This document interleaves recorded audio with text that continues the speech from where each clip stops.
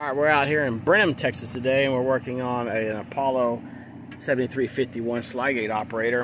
And just a tech tip, you can't wire your 20 watt panels straight to the battery like they did. They'll damage the batteries. So you want to bring them in to the solar panel uh, connection on the 1050 board, or you want to wire it into its own regulator that's separate and then go to the battery.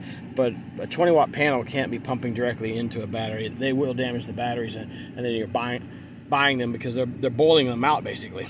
All right, so we're going to reroute this solar panel up here. We need to take this connector off the board. We need to strip the solar panel. I already cut the ring connectors off that they had on them. You don't need to add a blocking diode into the 1050 board. 1050 board will regulate the solar panel directly. It'll regulate up to 30 watt panel.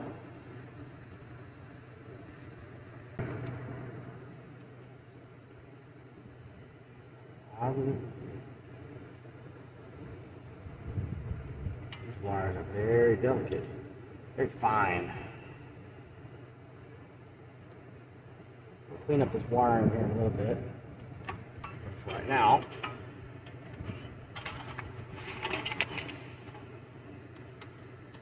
apply the power to the board, and you have to come in here and make sure your charger is turned on on the board and the standby for solar mode is turned on on the board. So they bypass the safety equipment out here. No comment.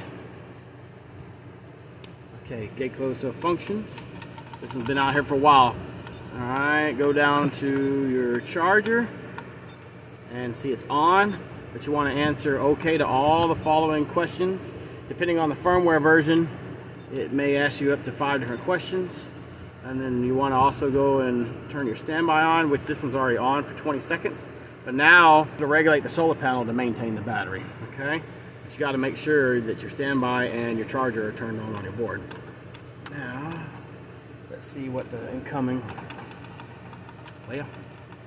So here's another tech tip on these 1050 boards. The contacts to the buttons uh, can get oxidized over time and sometimes you'll have to come in here and You'll have to click on the button several times to get them to finally function again. But if you're patient and you keep clicking it, it'll eventually start working. So this board proved me wrong. This is the first time I ever run into one. We've we've clicked that display button so many times that we haven't been able to get it active again. We give up. We, the reason why I wanted to go into display mode is I wanted to go in and, and check the solar input to the board and it would have gave me a, a voltage reading output. So I'm going to show you the old school way of checking to see if your solar panel is actually charging your battery.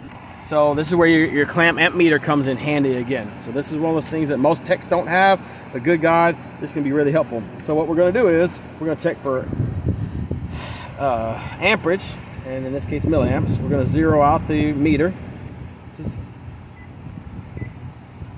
And then I press the hold button, clamp it on to your main feed to your board, unplug the solar panel connection, okay?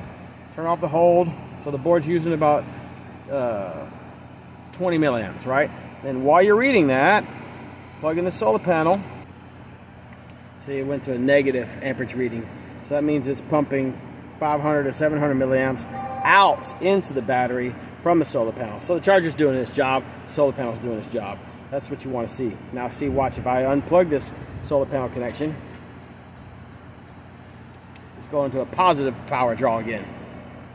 All right. All right.